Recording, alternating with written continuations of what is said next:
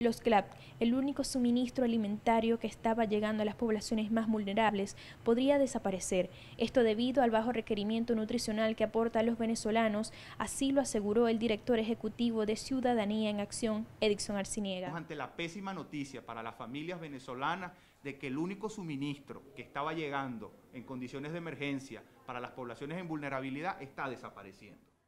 Asimismo, indicó que en lo que va de año el proceso entró en una etapa de decadencia por su poca distribución y peso alimentario. Estamos hablando que en el mes de enero tuvimos 1.79 cajas entregadas por hogar venezolano consolidado estadístico, que en el mes de febrero subió a 2.47 y en el mes de agosto viene a cerrar con 1.17 cajas por familia estadística. Entonces tenemos una caída en la cobertura, tenemos una caída en los contenidos, en el peso, tenemos un incremento del tiempo de llegada, pero también tenemos una caída del número de cajas asignadas.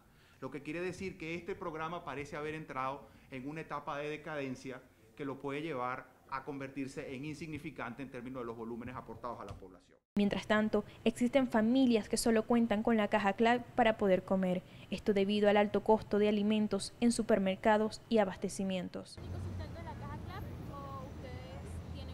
Bueno, hasta el momento la caja claro. ¿Y cómo hacen para cubrir, por ejemplo? Bueno, porque yo, bueno, yo trabajo alguna eh, y lo puedo solventar, pero es difícil porque todo está muy costoso. Mira, realmente muy pocos productos. Eh, se menciona que trae leche y otras cosas, pero no, no es así.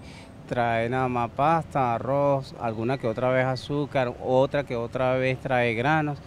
Eh, harina pan, nada más. Los ciudadanos aseguraron que la decadencia de los CLAC cada vez es más notoria por la falta de productos y la baja calidad de ellos, por lo que esperan que pronto les entreguen una caja vacía. Pues, toda escoba nueva barre bien cuando empezó.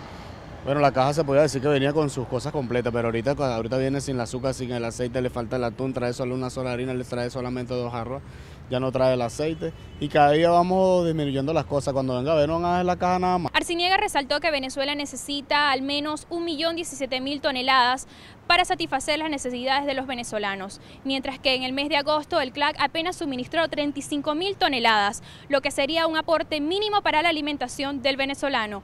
Para Benepress, Rosana Pedrique.